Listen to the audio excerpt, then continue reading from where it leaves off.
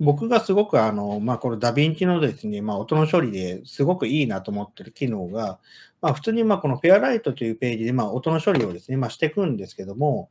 この今ここ流すとですね、今ここ、今 A の1っていうところが今メーター触れていて、で、ここはまあマスターがあるんですけども、ここにですね、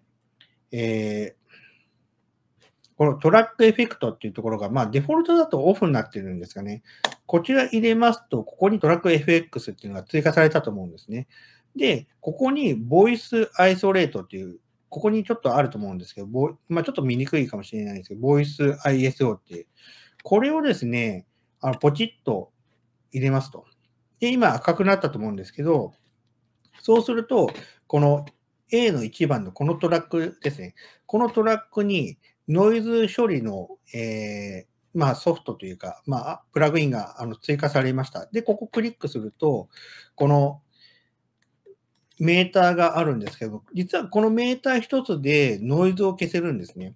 例えばナレーション撮りとか、あとはまあ、あの普通の対談の時の声とかですね。あの声以外のものを消したい時ってあると思うんですけど、このつまみを回すだけで、あの、喋ってる声にあんまり悪い影響を与えずに、まあ、綺麗にノイズだけですね、あの、まあ、ノイズだけ取ってくれるという、これがですね、とってもなんかあの優秀で、あの、かなりまあ綺麗にあのノイズが取れますね。この機能をまあ使いたいっていうのもあって、で、あとはですね、まあ他にも、まあやっぱ音の処理ってまあ結構、うん、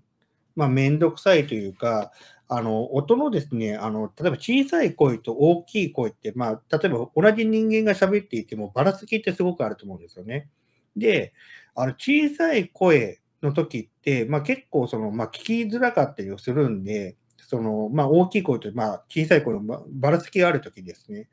聞きづらいんで、できるだけこの小さい声と大きい声のばらつきをなくして、あのできるだけ均一にした方が、まあ、喋ってる声とかも、まあ、聞きやすいっていうのは、まあ、あるんですけども、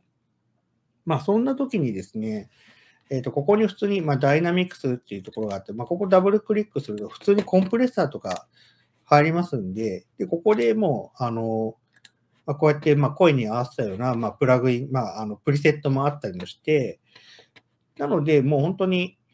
あの簡単にこういうエフェクトとかがもう簡単に入りますし、まあ、ここではボイスアイソレートで、まあ、ノイズ処理もやって、ここであの大きい声と小さい声の、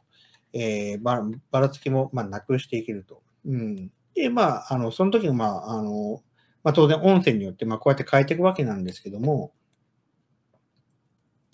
で、声が、まあ、これコンプレッサーかけることによって、まあ、声が小さくなってしまったら、ここのメイクアップってあげれば、まあ、あの、小さくなった分、まあ、ボリュームも上げることができるんで、でまあ、ここにまリミッターもありますしで、結構楽なんですよね。で、トラックがたくさんあるときには、あの、まあ、ここは何個も、まあ、あの、増えるわけなんですけども、このマスターのトラック、ここにもあのエフェクトをかけたりとかすることができるんで、各トラック、まあ、別々にまあ当然の、まあ、音の処理ってするんですけど、それをまとまったあの出力に対しても、えー、後で、えー、まあ、ちょっと、まあ、イコライザーで整えたりとか、